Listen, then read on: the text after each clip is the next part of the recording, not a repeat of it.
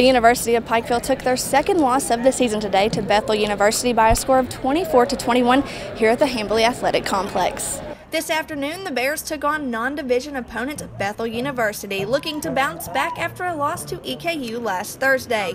The Bears took the field with the loss of their starting quarterback, Sonny Warren, and true freshman Bowen Smith would take the first snap for the Bears, giving them an explosive start, putting up six on the board first.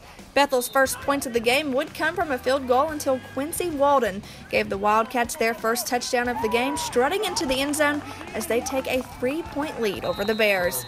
Quarterback Bowen Smith will help execute six more points as he connects with Prestonsburg native Jordan Jarrell in the end zone for the Bears' second touchdown of the afternoon.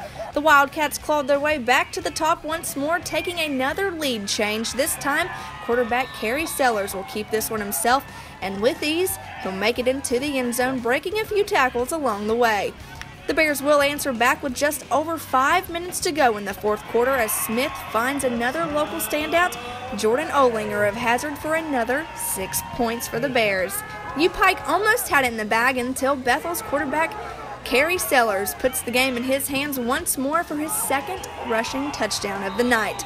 I had the chance to catch up with head coach Al Holland Jr.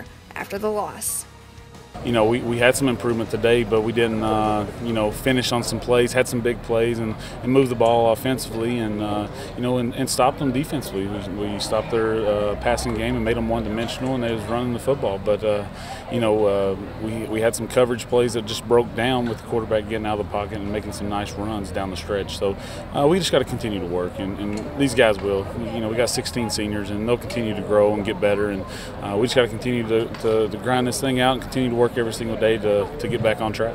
The Bears are back in action next Saturday at 1:30 at the Hambley Athletic Complex up against number 5 ranked Reinhardt University. Reporting in Pikeville for EKB Sports, I'm Michaela Colley.